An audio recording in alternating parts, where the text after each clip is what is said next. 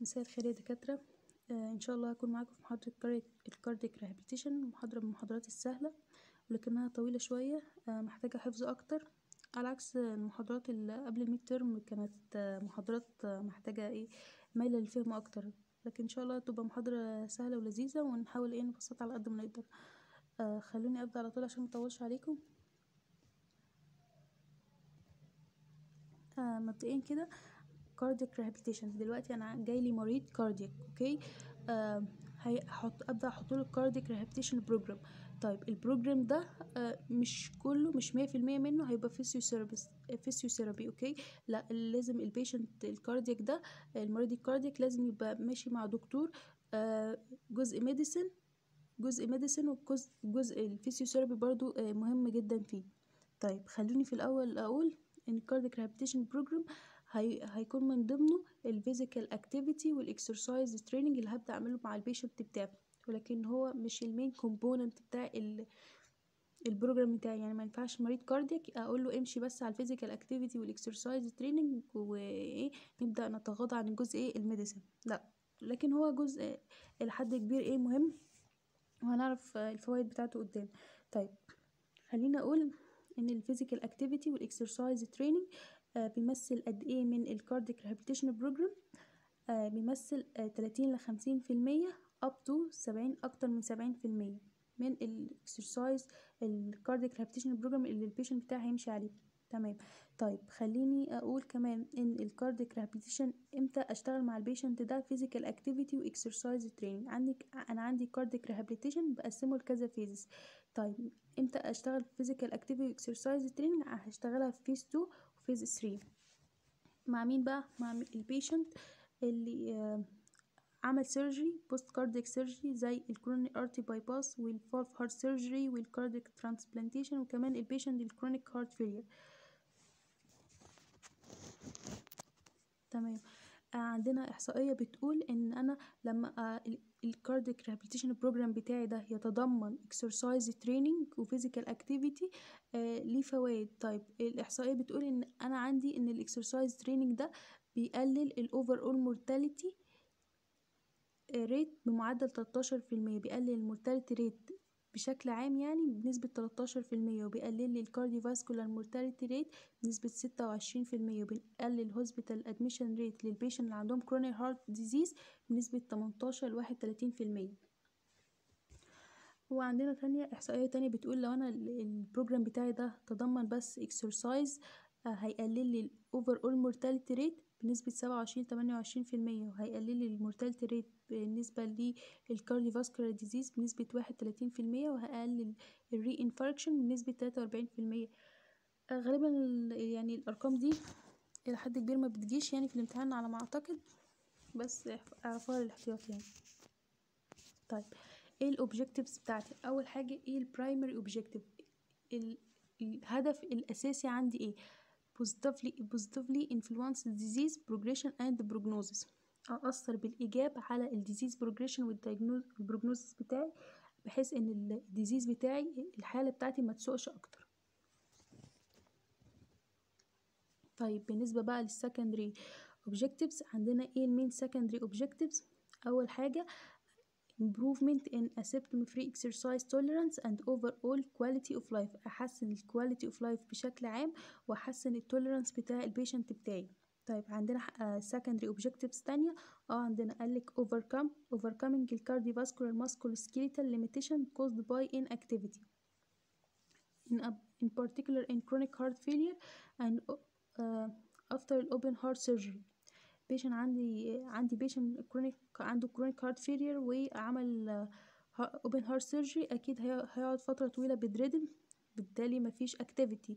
فنتيجة ال inactivity دي ال patient ده هيبقى عنده limitation musculoskeletal cardiovascular ال exercise training اللي هبدأ أحطه لل patient هيبدأ. يتغلب لي على ال limitation دي طيب عندنا إيه ال secondary objectives تانية؟ عندنا زي improve ال mobility وال independence حسنت mobility حسنت independence طبيعي جدا ال psychological well-being بتاع ال patient هيتحسن. آه برضو ال social وال occupational reintegration هيتحسن. وكمان بحسن أو بمنع ال cardiovascular risk factor طيب تمام. أنا ظبطت كل ده. إيه اللي هينتج عنه؟ آه reduce the need for home care. الرعاية اللي أنا محتاجها في البيت هتقل ما أنا حسنت independence وال mobility بتاعة ال patient بقت أحسن فال care آه مدى الرعاية اللي محتاجاها في البيت أكيد هتقل وبالتالي هيحسن enhance participation و enable the patient to take up his further life. أنا ال patient يعني هيجو on إيه في حياته.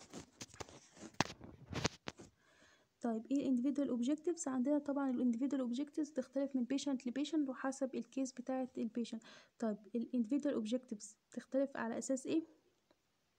تختلف على حسب الكاردي ال patient cardiac diagnosis التشخيص بتاع ال patient ده وال exercise capacity بتاعته وال exercise limiting comorbidities الأمراض المصاحبة والايج والجندر والاكسرسايز experiences والبيشنت موتيفيشن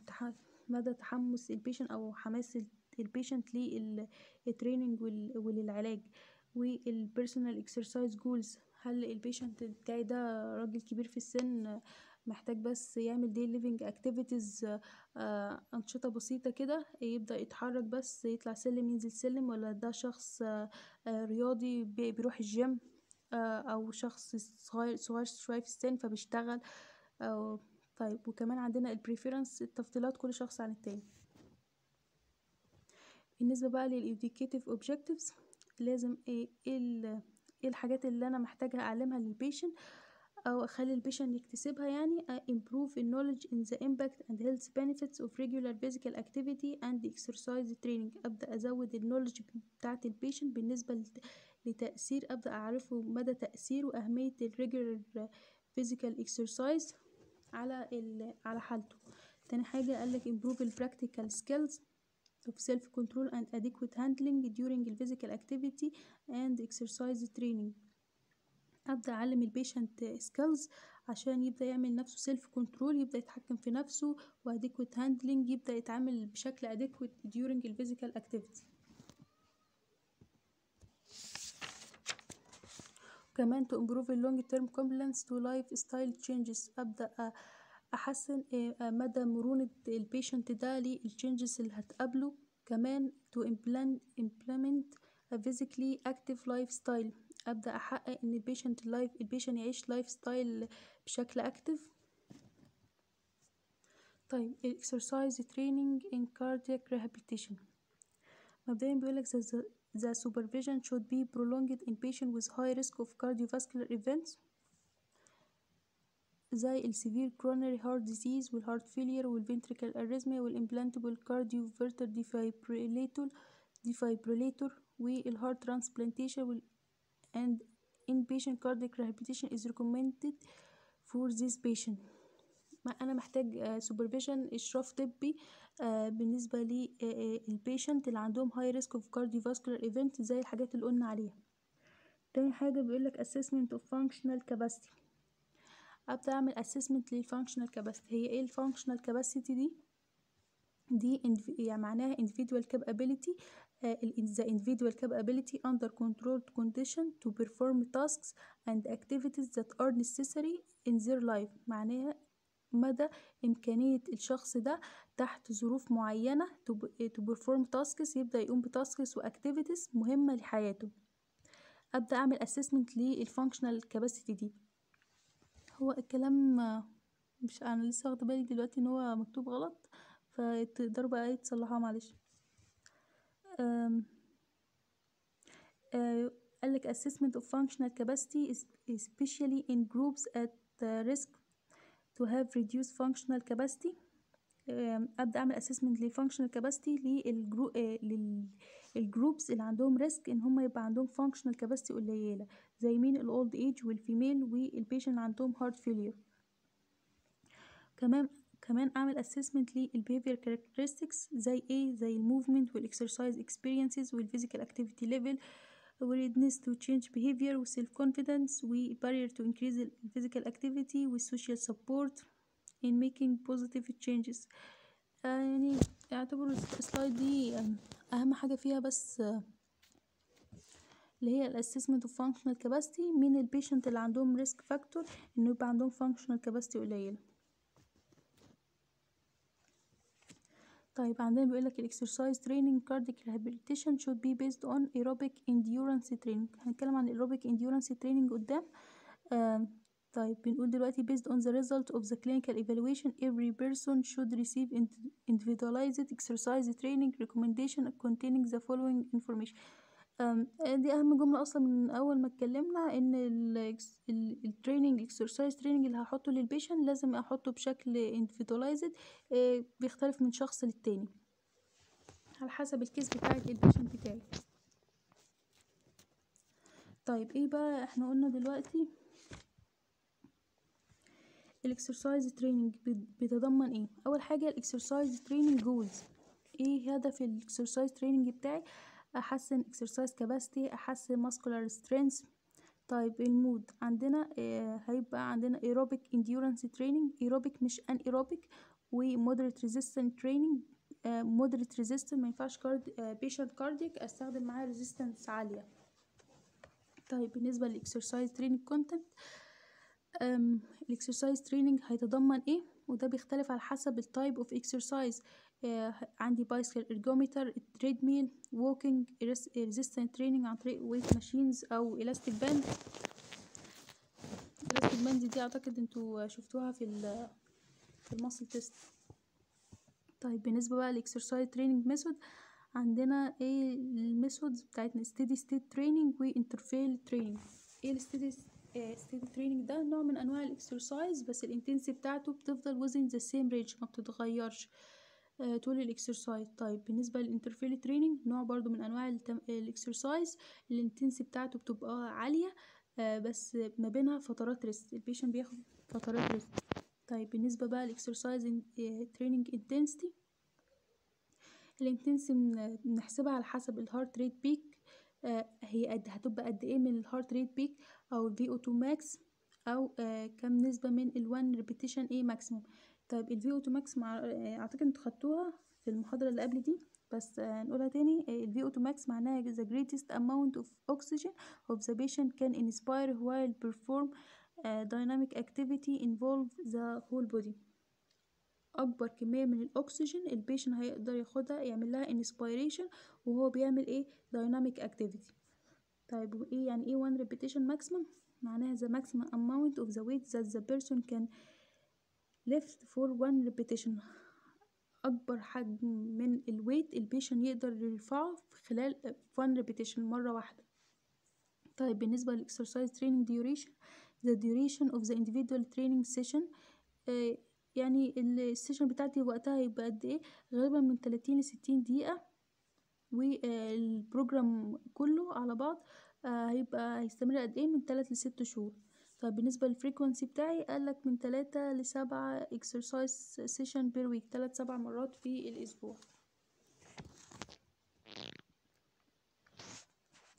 طيب عندنا ال exercise training duration و intensity و frequency لازم أبدأها عند low level وأبدأ بشكل gradual أبدأ أزود ال duration وال intensity وال frequency after a long period of لا آه، قالك تمام sorry معلش. Exercise training duration و intensity و frequency should start at low level. أبدأ ال frequency وال duration وكل ده أبدأه من low level آه، وبعد كده بشكل gradual أزود ال duration وال intensity وال frequency خصوصا مع ال patient اللي قعدوا فترة طويلة inactive especially in patient taking up an exercise training after a long period of inactivity. إيه ال primary goal بتاعي ال primary goal بتاعي إن أنا أزود duration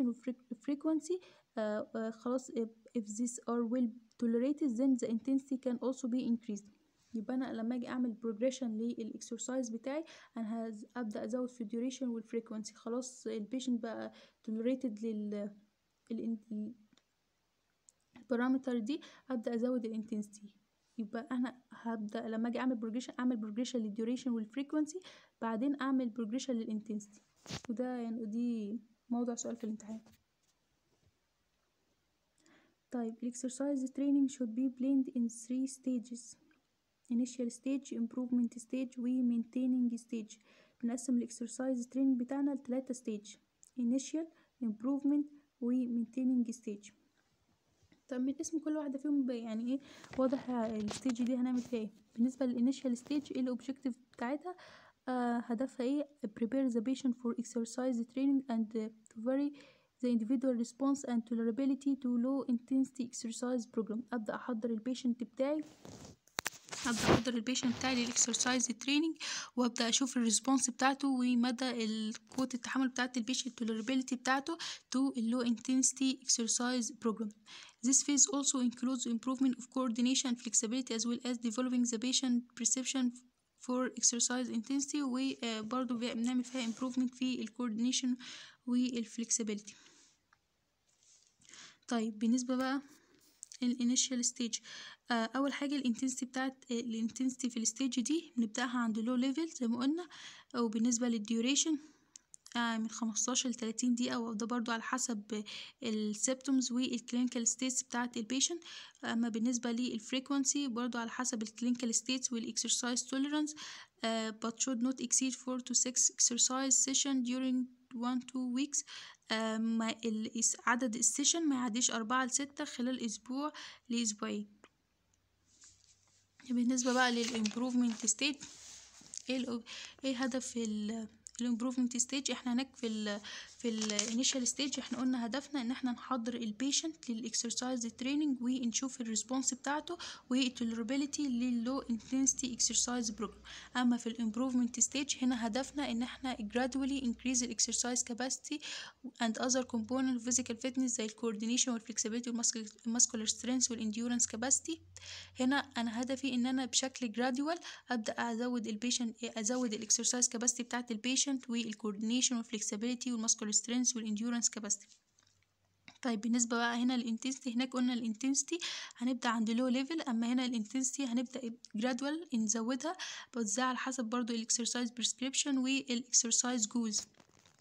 طيب بالنسبة بقى لل duration هناك قلنا هنبدأها من عند خمستاشر لتلاتين دقيقة. لا هنا ال duration بتاعتي من تلاتين دقيقة لستين دقيقة.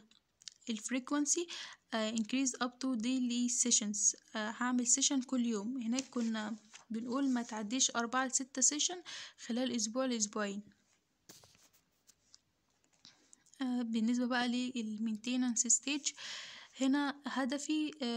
gradually increase the exercise capacity وال other component of physical fitness نفس ال objectives بتاعت ال ال improvement stage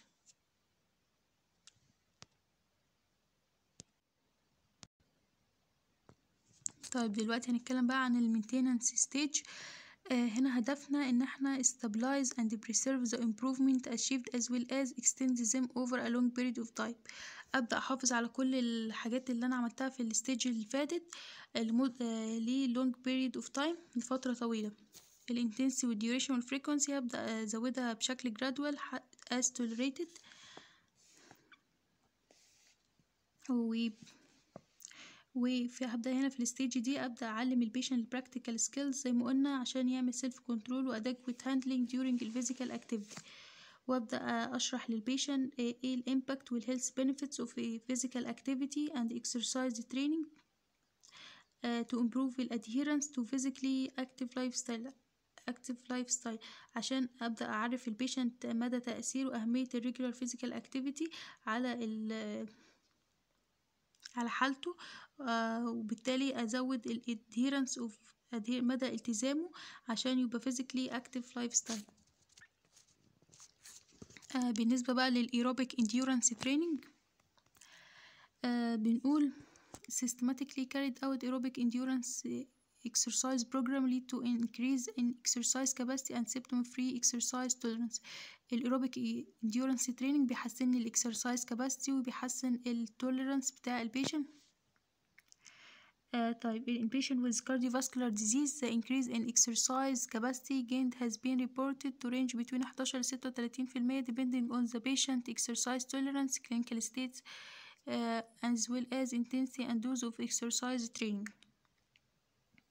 ال exercise إحنا قلنا إن ال aerobic endurance training بيحسن لي أو بيزود ال exercise capacity طيب بيزود ال exercise capacity ب range قد إيه؟ بنسبة 11 ل 36 في المية وده بيعتمد على ال patient exercise tolerance وال clinical status بتاعته وال intensity وال dose بتاع ال exercise training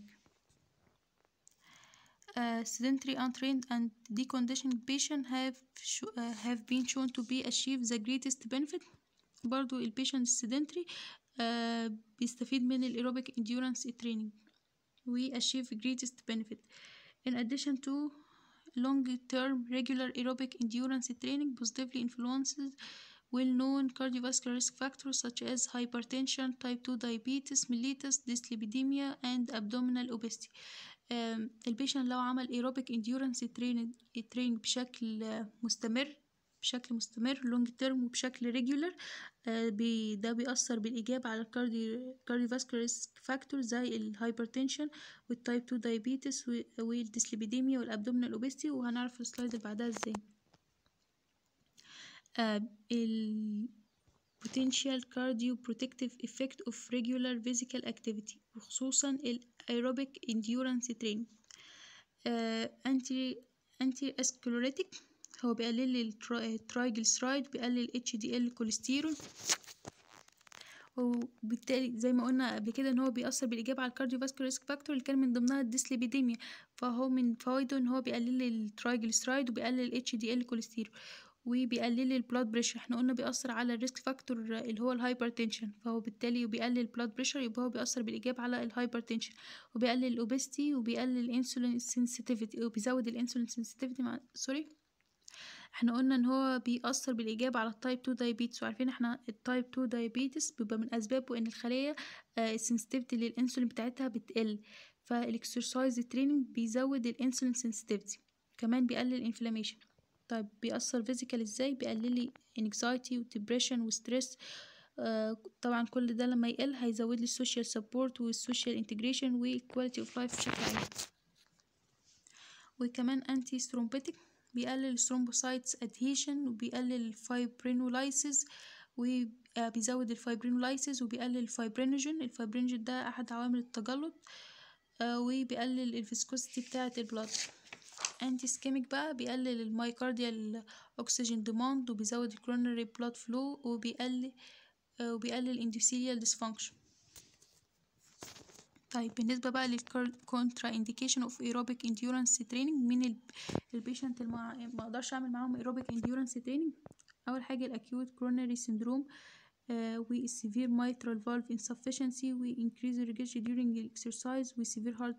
heart failure و third degree heart block without pacemaker. عندنا ال heart block بيبقى تلاتة degree ال patient اللي عنده ال third degree heart block ما أقدرش استخدم معاه ال aerobic endurance training وال pericarditis التهاب في ال tissue اللي حوالين ال heart myocarditis التهاب في عضلة القلب ذات نفسها وال recent embolism وال patient اللي عنده ST displacement أكتر من تلاتة ملي تلاتة مليمتر وال uncontrolled diabetes وال unstable angina ال angina عندنا كذا نوع stable و unstable وكذا نوع كمان لا ال patient اللي عنده unstable angina ما أقدرش استخدم معاه aerobic endurance training وكمان ال resting systolic blood pressure over ميتين ملم mercury ال systolic blood pressure بتاعه أعلى من ميتين وال diastolic blood pressure أعلى من مية وعشرة. وكمان لو ال patient ده حصله drop أكتر من عشرين ملم mercury في ال systolic blood pressure during ال exercise وال patient اللي عنده moderate to severe aortic stenosis وال acute systemic illness or fever واللي عنده uncontrolled atrial or ventricular arrhythmia ال patient ده عنده arrhythmia ومش قادرين نتحكم فيها وكمان ال patient عنده uncontrolled tachycardia مش قادرين نتحكم فيها أكتر من مية بيت بير minute.